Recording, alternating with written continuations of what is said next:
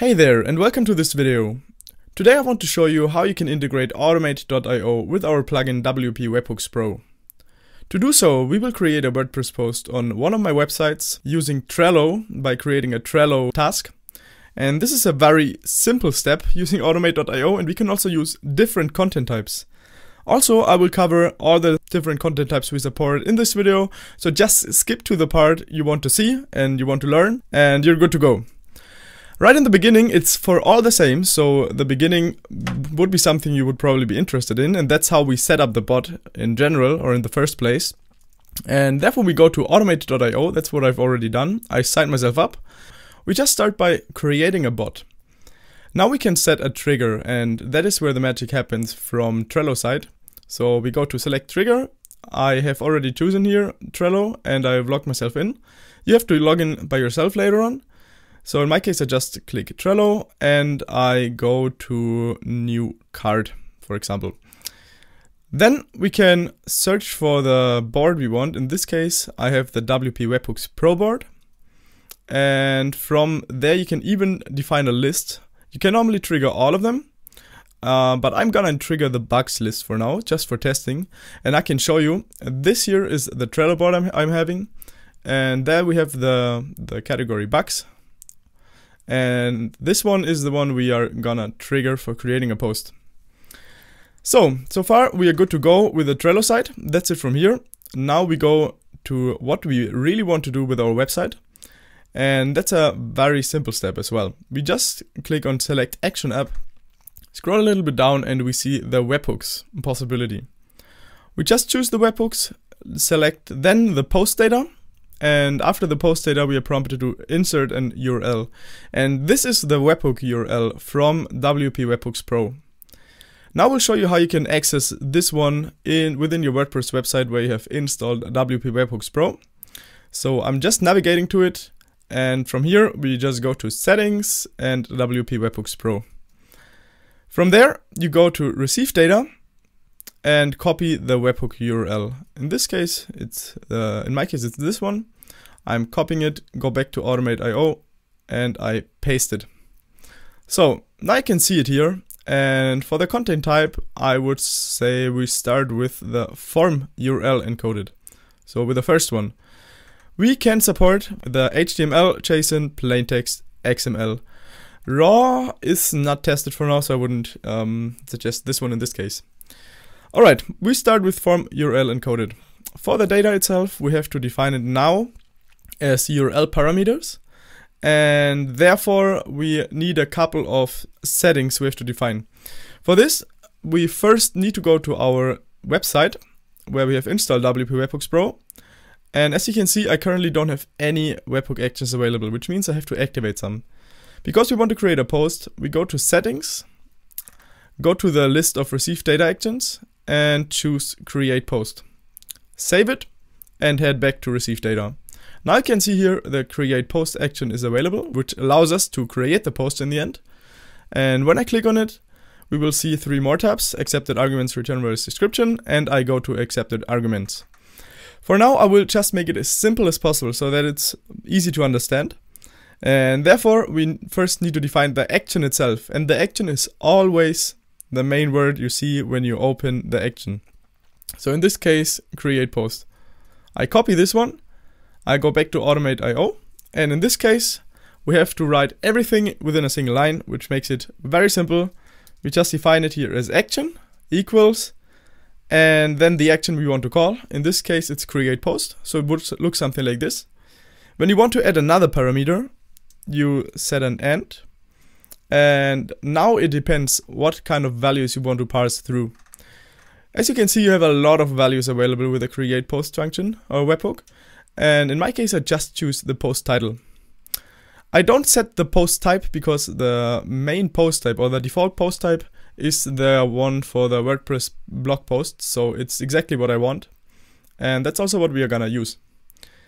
Now I head back to automate.io and I include the post title and this one equals to something dynamic in this case, because what I want to do is, I want to use the title of a card. When I add a new card, I want to use the title as the title of the post, so that you can see that you also can parse values from Trello, for example, to your WordPress website.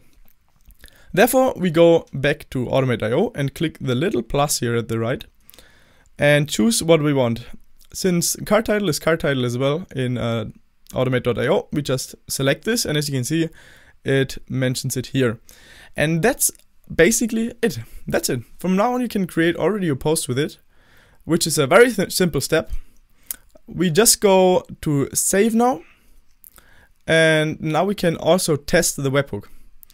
When we turn it on, it will ask us for run the test. When we run the test now, we just go back to Trello and we create our bug, or in this case, our post. I'd say we call it first demo demo post and we add the card and that's it. With adding the card, with clicking the button add card, this webhook should already see that there's a value available. Exactly, he can't find something now, so we try again. And now he should find one. And since it is a trial version, it will ask me for um, making the payment. Yeah, but that's not what's gonna happen because the test basically run through. And we can also see this by going to the post. As you can see, currently there are no posts available. But when I refresh now, oh, let's do it through the browser so that you can see it. When I refresh now, you will see that we created the first demo post as a draft. And this happened by just creating the bug inside of our Trello dashboard. That's the way how you can do it. You can set up all the other values that are available inside of WP Webhooks Pro.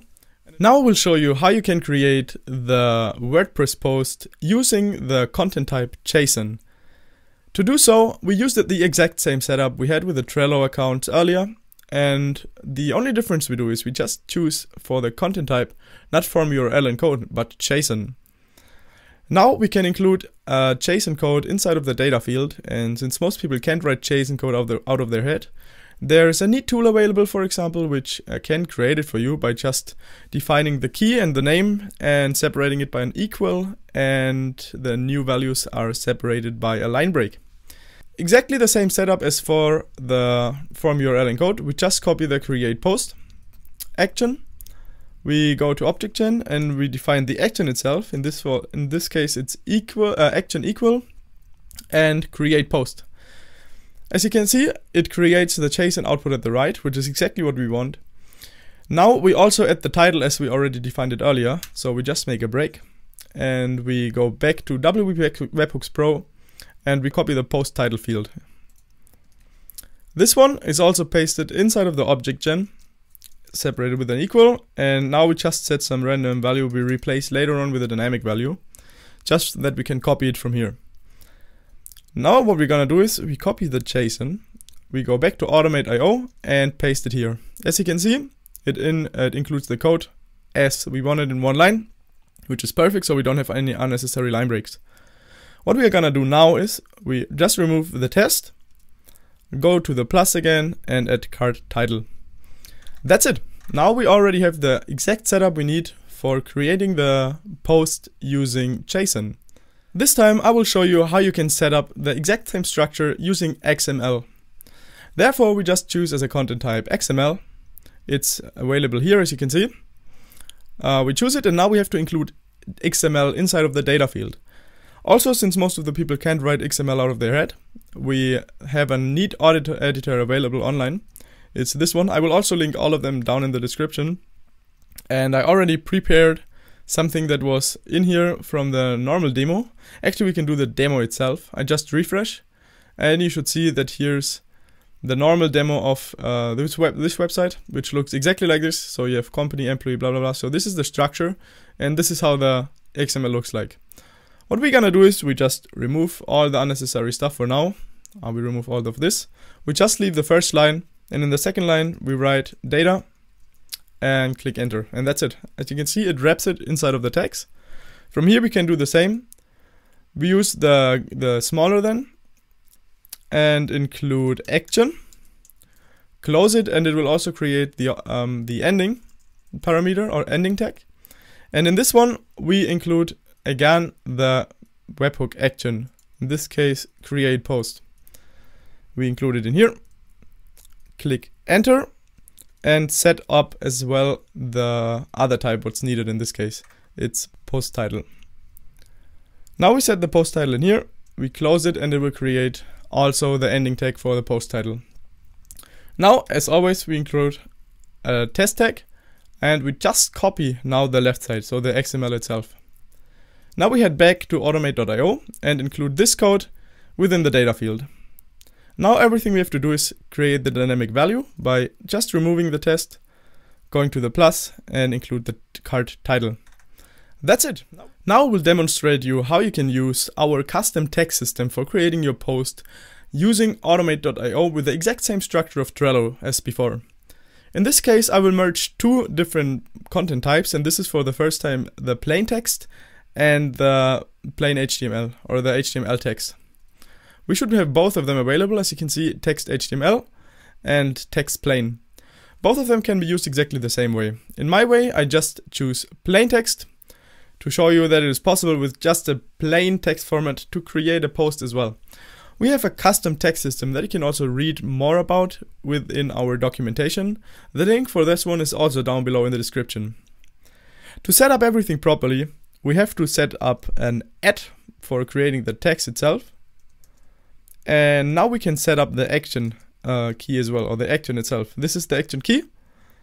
We write add action, then for the starting tag, we declare it with dash start and close it with an add.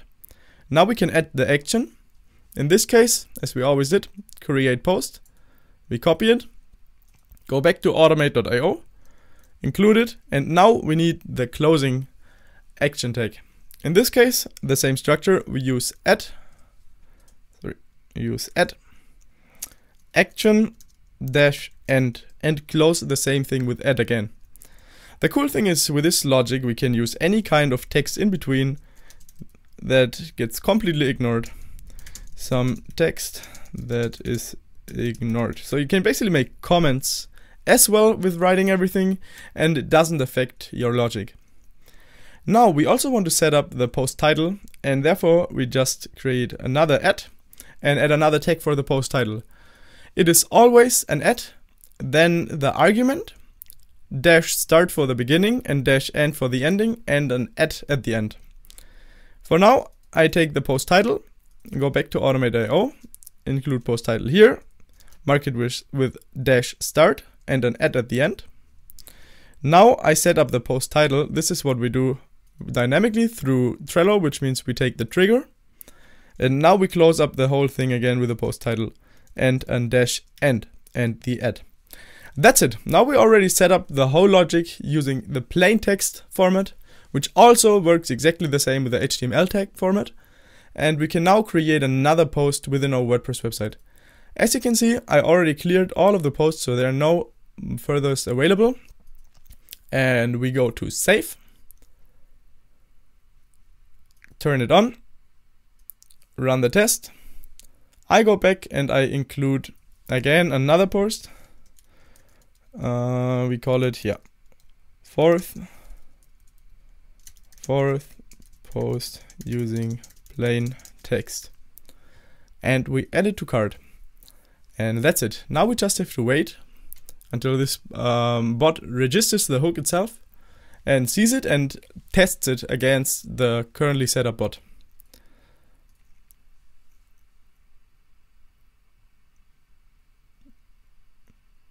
That's it.